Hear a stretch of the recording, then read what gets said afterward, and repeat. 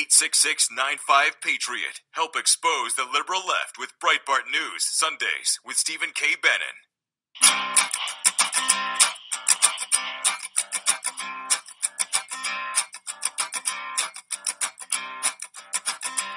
There's a man going round taking names, and he decides who to free. If it's Sunday night, to blame.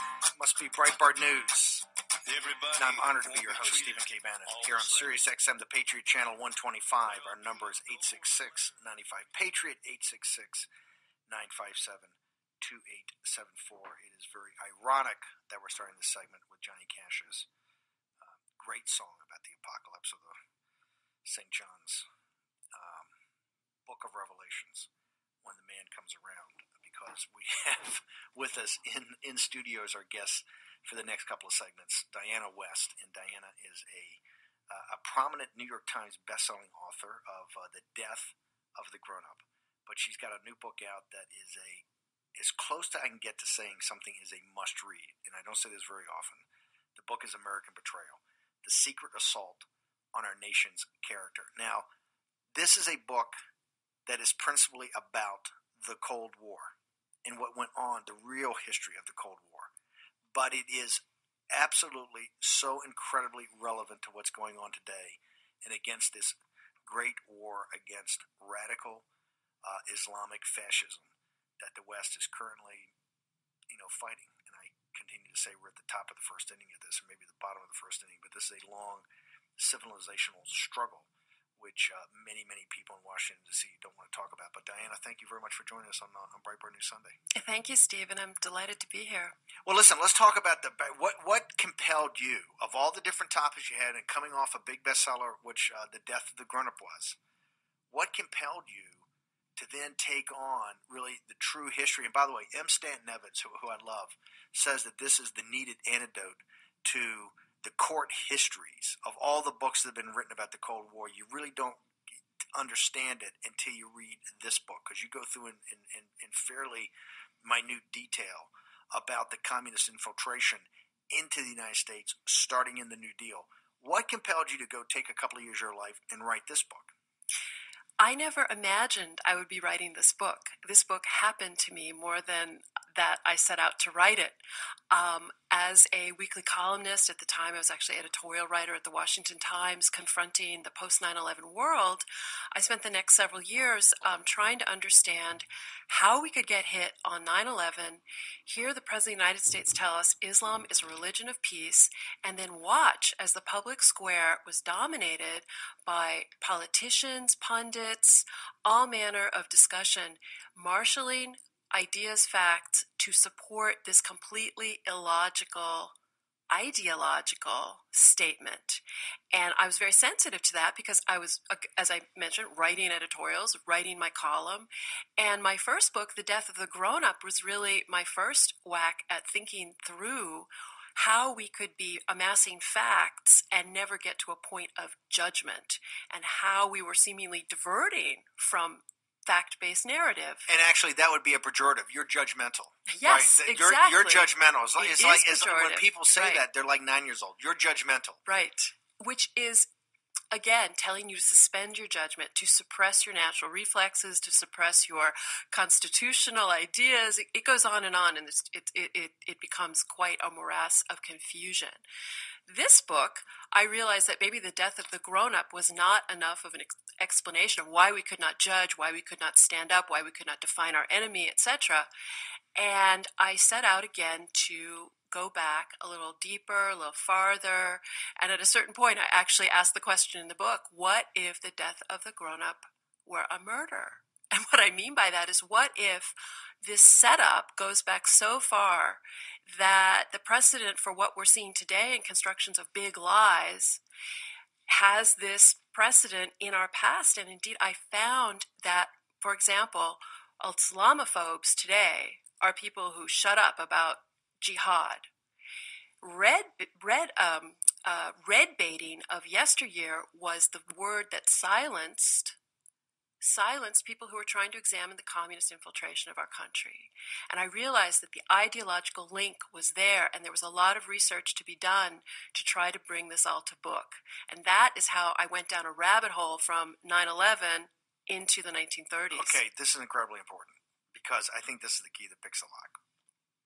Go, give us Death of a Grown Up again, because I think this is this is in this city and every week and on Breitbart. One of the reasons we're, we're so proud and we call ourselves the Fight Club. We don't put up any of this crap. We don't put up any of this nonsense. We're, we're, we're the you don't come to us for opinion. We're not you know have a bunch of op eds, although we bury some of it in all of our different pieces. But we're coming back at you relentlessly on every issue that's fact based, like the immigration. People are saying, well, how you guys have done 4,000 articles. This immigration bill, when you look at it, is so outrageous at every level, and the facts are being spun. Your death of a grown up, it permeates this city.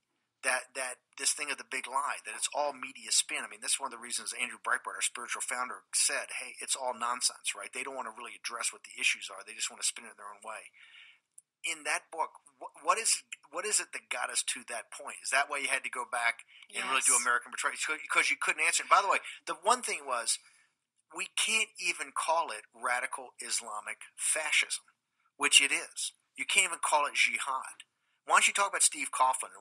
One, some of the stuff that you had found here in this city today of people. It's like if you saw the movie The Untouchables with, with when Kevin Costner played Eliot Ness, and they say, we all know where the whiskey is, right? In the Prohibition in Chicago. Remember with Sean Connery, that great scene. He says, "We all, everybody knows where the whiskey is. It's the political will to take the axe and chop down the door." Everybody knows what the radical jihadists want to do. It's just nobody in this town wants to talk about it. Well, that's true, and I would say that that in the, the sort of the, the metaphor the death of the grown up, there is an answer to this because what you are seeing is is a society that, of course, has been worshiping youth and the cult of youth for generations. But what that has done to us has made has really stultified our development as people who can speak freely, take on issues, confront things. So in a sense, our diminution, our stunted mentality actually makes us perfect candidates for being conquered by jihad, conquered by Islam, made into dhimmi, which is, of course, the people who live Christians and Jews who live under Islamic law.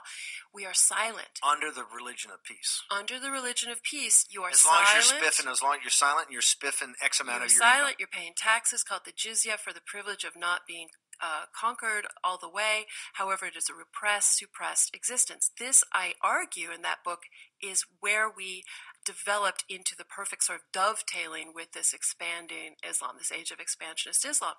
What I do in this book, however, is go back to find the parallels to find out the seeds of this, which okay, are so in was, our okay, past. so something was bugging you. You're saying, how Yeah. did the United States, the greatest nation in human history, how did it get to a position of this, which is so catastrophic? And that was the taproot. That's what really American Betrayal, your new book, the, the secret assault on a nation's character. You went back and you found that in our great war against the Soviet Union. Yes, I went back, and this was a great shock to me. In fact, the whole book was a great shock to me. In fact, every day as I wrote the book, I was shocked. I was sitting in my study, usually in the dark, because I tend to write, at, you know, in the 4 a.m. hour, and uh, I was alone with this information. So it's actually a great relief to be able to talk to you about it. What I found was that our leaders had betrayed us, had lied to us, but in this depressing and shocking revelation, I found also great confirmation that we were we were going through something again. For example, if George Bush and Barack Obama have been telling big lies about Islam being a religion of peace, I discovered that Franklin Roosevelt told the American people the exact same lie about communism during World War II. We had wartime censorship. Communism was portrayed as something very compatible with democracy, just as Islam is today. Um, we also had uh, uh, the, the sort of cult of Uncle Joe Stalin being the affectionate nickname of Churchill and Roosevelt for this mass monster who had to be pre- presented this way to the American people, who frankly did not wish to supply material and munitions to the Soviet Union, going right up into our beginning of the war at the end of 1941. They had to be lied to.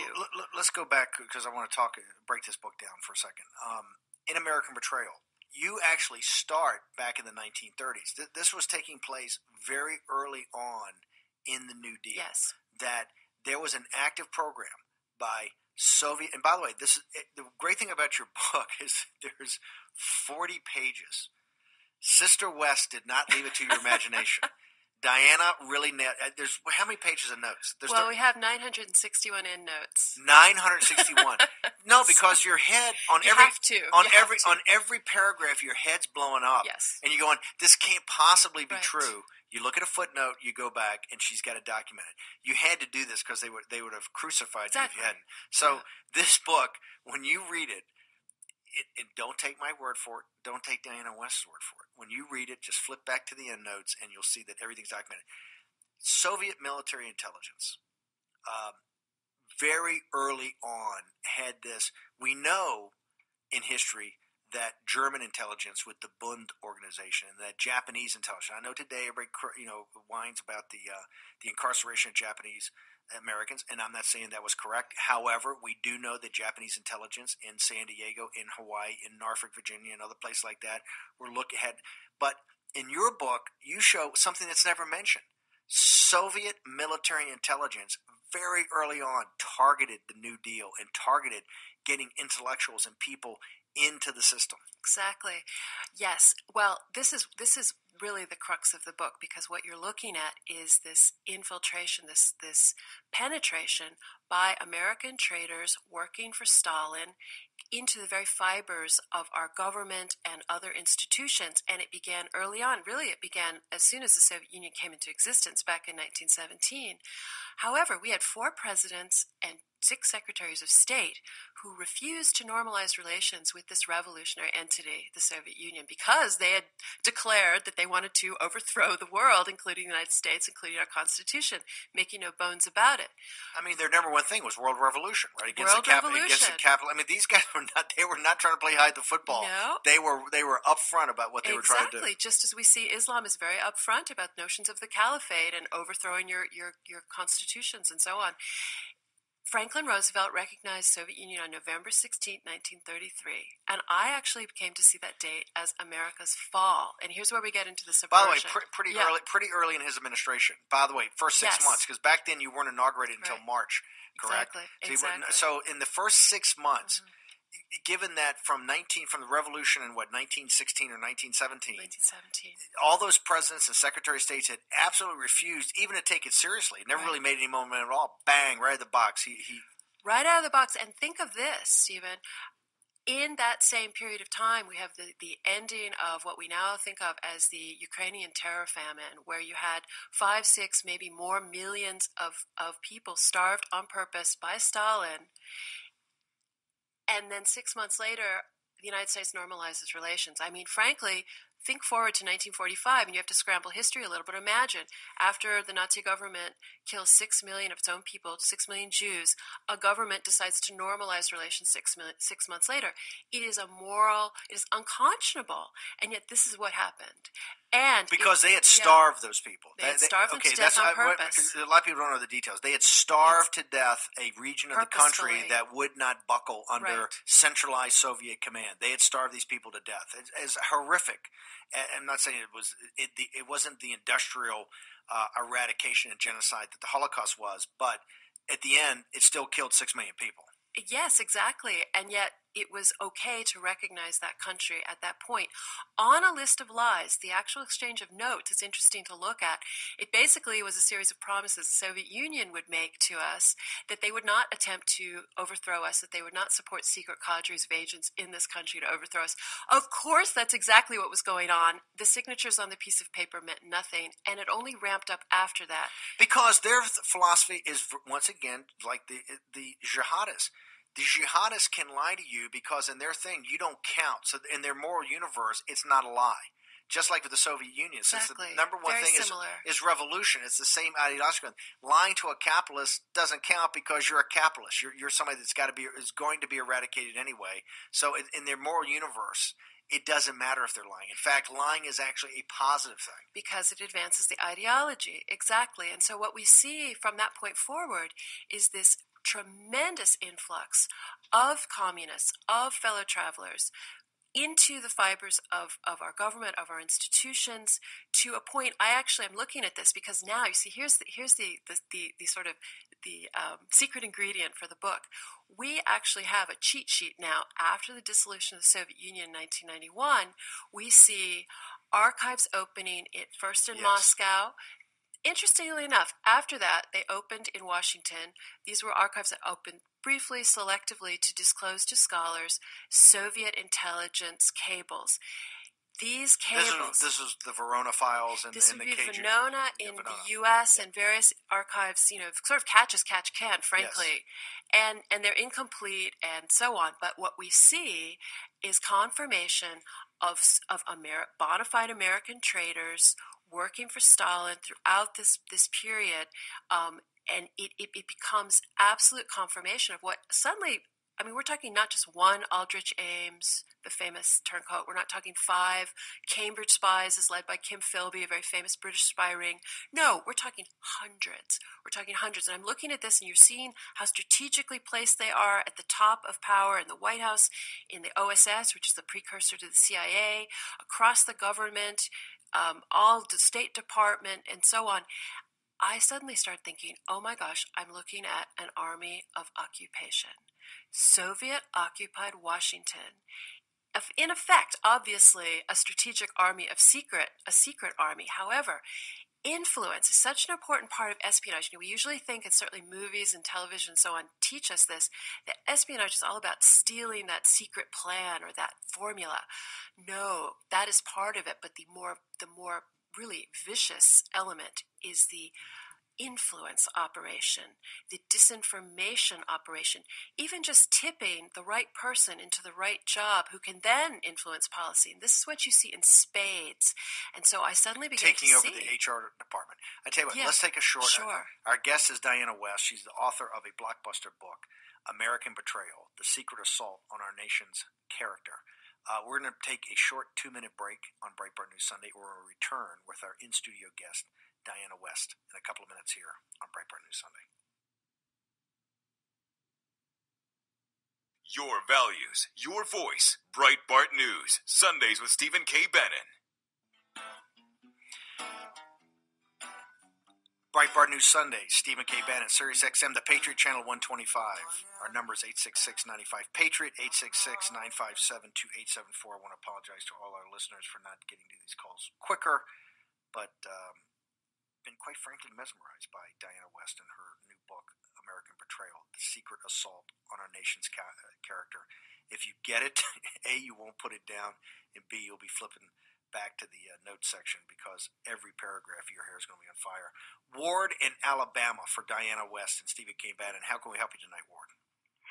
Yes, sir, Miss uh, or, or, or ma'am, I should say, Miss uh, West. I, uh, I'm really intrigued on the subjects of of uh, the espionage and the deceit end of it, and and how it, we should be worried about as far as the um, Muslim issue goes. But I wanted to know.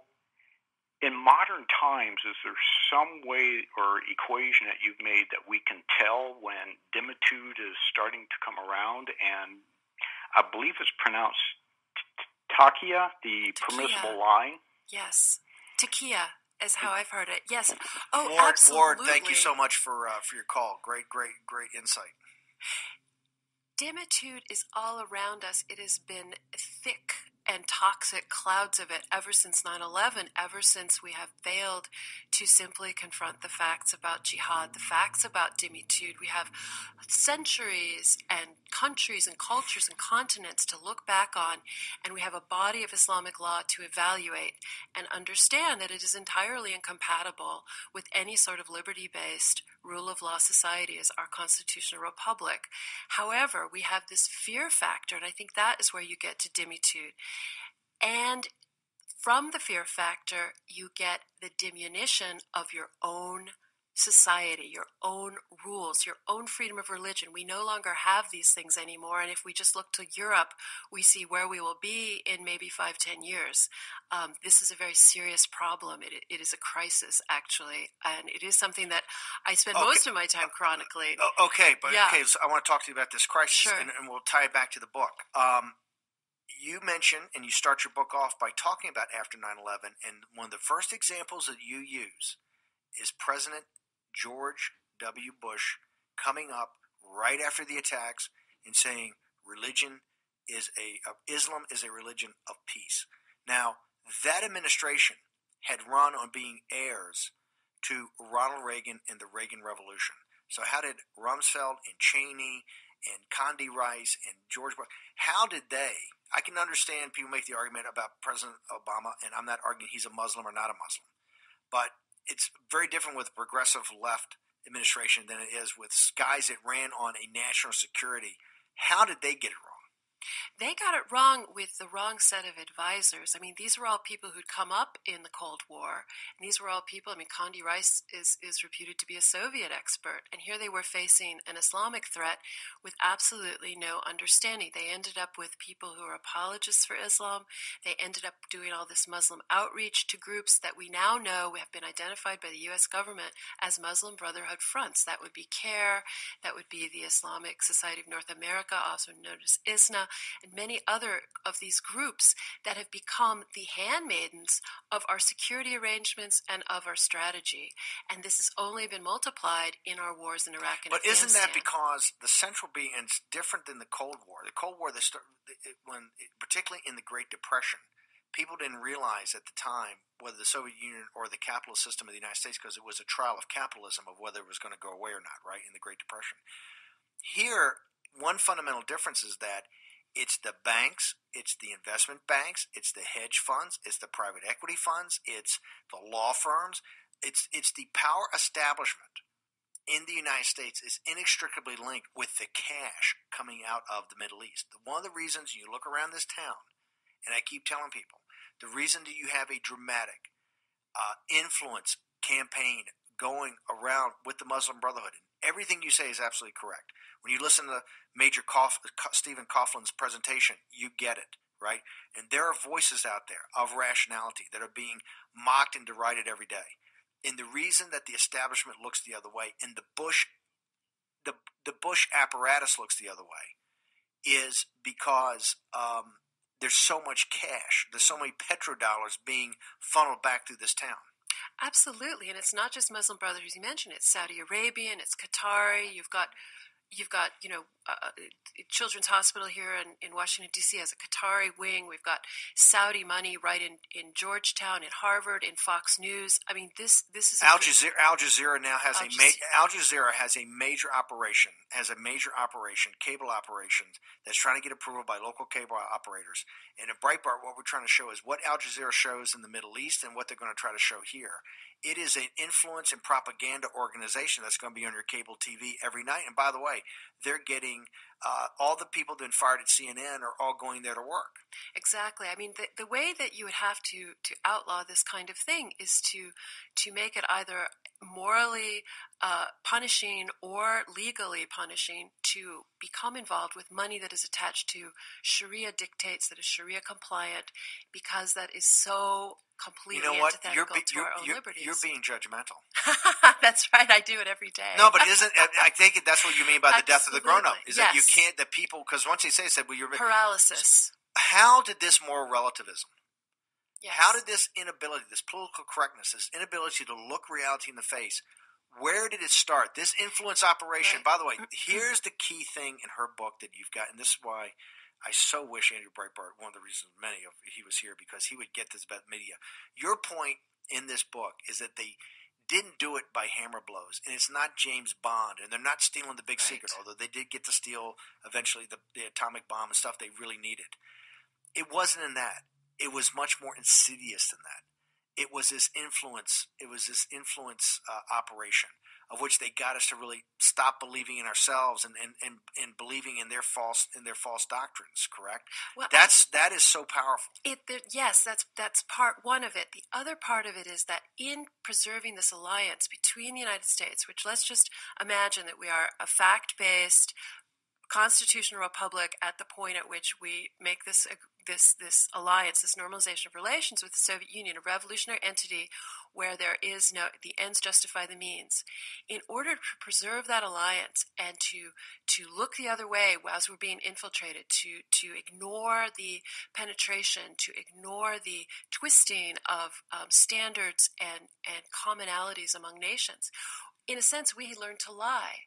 And this learning to lie gave rise to double standards in our foreign policy. And lo and behold, we have double standard upon double standard. We begin colluding. You mean we, you mean we had learned to lie in in order to make ourselves feel better about having almost a version of Hitler as our partner yes. in Stalin. That we had to look yes. of the 30 million people we killed, we had to look the other way. Of how they yes. ran the gulags, we had to look the other way. Every time he had a Solzhenitsyn, it was it was quite uncomfortable. Embarrassing. It was embarrassing. He was locked out of the White House. He right. got, yes, he got locked out of the exactly. White House. Right. This, by the way, got locked out of Jerry Ford's White Jerry House. Ford's it was White a Republican House. White House yes. he got locked out of. Absolutely. No, that is exactly it. And it isn't just looking the other way. At a certain point, and this is why the book is called American Betrayal and why it is it is it is so it is heartbreaking. There, there's much of the book that is quite heartbreaking. We began to collude. In other words, we began to not just look the other way, but to participate. And that would be either in participating in, for example, the repatriation of Soviet claimed nationals at the end of World War II, whereby British and American forces were ordered by their governments to return by force some 2 million Soviet claimed nationals to certain death or gulag.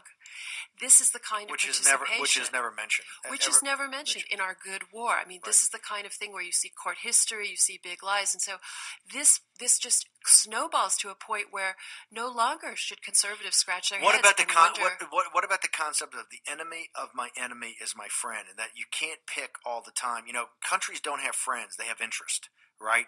And in the in the in the great war of European fascism, of what was p- coming up in Italy, of what was obviously in charge in Germany, of what potentially was coming up in England, in that war, it was determined that these communists, as bad as they are, will be our partners to destroy that. And then Patton and other guys said, hey, these guys are just as bad. We got to take this on now.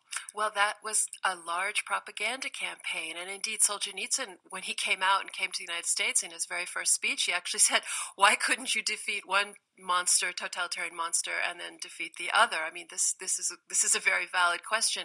However, I think there's something that everyone always misses, and I, it sounds like a blanket statement, and it is the United States and Britain wanted to defeat Hitler's Germany. Stalin's Russia wanted to supplant it. And that is indeed what happened. And that is indeed became the goal of the Soviet agents in the United States. In other words, the war had to continue. They had a long term. enough. They had a longer term strategy. They had a long term right. strategy and they wanted that Red Army into Europe. And so the war couldn't end too soon. I mean, this is sort of where you start, your Right. head does explode when you start realizing that the, the, the effort was to keep the alliance with Stalin. So your argument, your argument is that the, Yeah. is that is that is that where there are many people in Britain and in in, in, in France and de Gaulle saying we have to, you know, you, you went to North Africa, you went to Italy, skip Italy, let's go and land, let's have D-Day in 1943. The whole thing of the Soviets, one of the things of saying, you know, don't do that or slow that down was the fact that they want the Red Army to get ready so that they could do their own march across Germany. Well, it's they wanted us to essentially. I mean, we had invaded Europe through Sicily into Italy, Yes. and essentially, I mean, one of my aha moments. I was reading a very excellent history book where there was a, a line where it said essentially we had to we had to leave the continent of Europe in order to re-invade it in northern France at D-Day. And frankly, I had never thought of that before. In fact, I hadn't thought much about the Italian War at all. This was a mistake as far as Stalin was concerned. And of course, this was the great battle, but that Churchill continually wanted to see us go up through the middle to be close to Germany, and eventually, as he realized Stalin's goals, to forestall them, to keep them away. So, yes, this became a technique to put the Americans and the British out of reach. And there was also one of the most shocking things I discovered there was actually a significant anti Nazi German resistance that was trying, we don't know if it would have succeeded, but was trying to, in very many, there are multiple instances and multiple American and British uh, facilitators trying to move this idea of overthrowing Hitler in exchange for help in keeping the Red Army out of Europe. That was always the bargain that could not fly in what I consider to be a communist occupied Washington or London. The book is American Betrayal. The author is Diana West. Um, the today in modern pop culture, you know, they call Ted Cruz the Joe McCarthy. If you want to think of who devils are, it's Ronald Reagan and, and those who name names at the House Un American Activities, the Hollywood 10 are heroes, right? Sure. Um, Alger Hiss is a hero, right? Richard Nixon's a villain. Uh, Joe McCarthy is a villain. Your book makes very cl- plain that these guys were right. Their, the place was infested with either traitors who were on the direct payroll of Soviet military intelligence or fellow travelers who were kind of compliant in helping these guys get along. I mean, there's there's absolutely no question. How is pop culture so changed it that is it, it, white is black and black is white? Right. Well, this is the big uh, chasm, if you will, between reality and where we live, where our society lives. And this actually goes to the, the point of the piece I wrote for Breitbart this week, namely that we have not reconciled what we know about the infiltration now due to those archival revelations we've had since 1991 and forward with the general narrative of the war.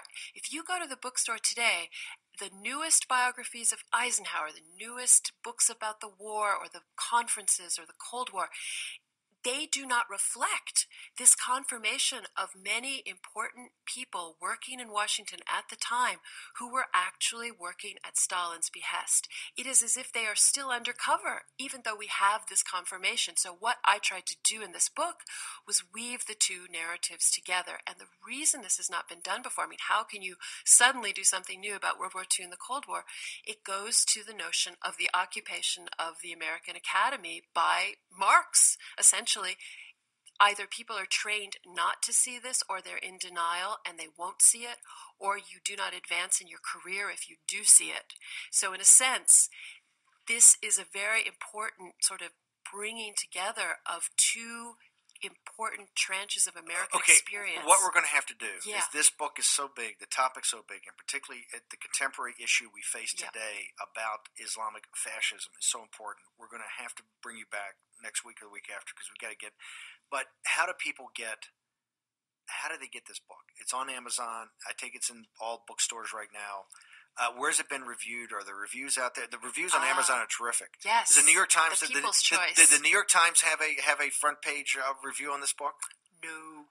did, the, did, the, did the LA Times have a uh, front no, page? Neither did the Wall Street Journal. Now they did review my first book which is kind of an interesting thing. Um, but so far, a, it's been silenced. This, this, cuts a little too close to the bone, particularly what you say. That is why the book is American Betrayal. The author is Diana West. It's the secret assault on our nation's character. Once you read this book, so much becomes like you have so many aha moments in here. And that's why it's so powerful. It's such a contemporary book. Diana, we're going to figure out, she's going to be up on Breitbart a lot uh, because this whole thing about the Muslim Brotherhood infiltration in our country is a real. At Breitbart, we're not kooks and we're not conspiracy theory guys, but this is a clear and present danger to our nation and you can lay it out, and you lay out the facts, and then you guys make the decision. That's what we're going to be doing at Breitbart News. Our guest is Diane West. We're going to have uh, we're going to take a short commercial break. When we come back, we're going to have one of the stalwarts of the conservative movement, Al Regnery, the founder of Regnery Publishing. He's currently the uh, founder of the uh, Legal Defense Fund for the police officers throughout the country. We're going to talk about this bizarre